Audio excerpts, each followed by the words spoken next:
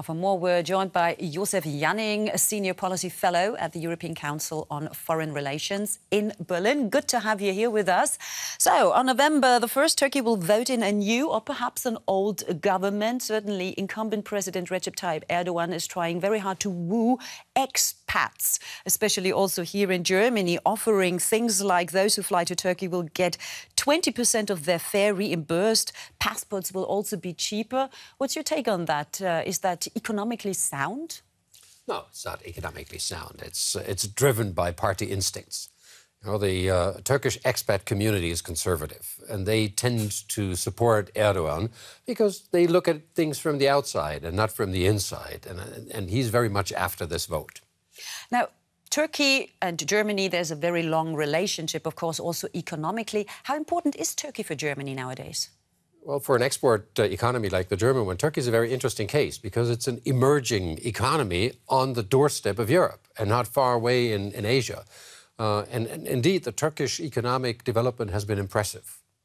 With 8 9% growth over a number of years, uh, it has been a tiger state, uh, which, of course, is, is always interesting because it's a, it's a large population and it's a potentially interesting market.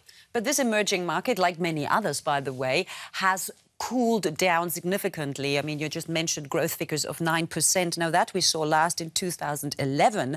Uh, but by now, this boom slowed significantly in 2015, as we can see very soon. Ankara expects growth of only around 3%. Now, that is still more than Germany, of course, so still impressive. But the signs of the times, they aren't too good. So what exactly is the problem? Well, for Turkey, it's a disaster. Uh, because, you know, with 3% growth, but almost 10% inflation, the lira uh, losing 30% of its value over the course of 2015. But still, you have about a third of the uh, young Turks under 30 uh, unemployed. You know, uh, this country uh, has a severe uh, economic transformation problem. It, it, has come to the end of, of an economic boom. It has to shape up its governance. the level of corruption is, is very high. Uh, but at the same time, it's in a region of crisis. So uh, also part of its markets are uh, destabilizing. It's lacking uh, um, foreign investments, but it needs a lot of foreign investment because of its uh, dependency on imports of, of um, um, resources and energy. Do, do you think that uh, EU membership talks will make any difference? Not over the short term. No, membership talks, of course, have helped Turkey to get where it is today uh, with a much shaped up uh, uh public uh, infrastructure.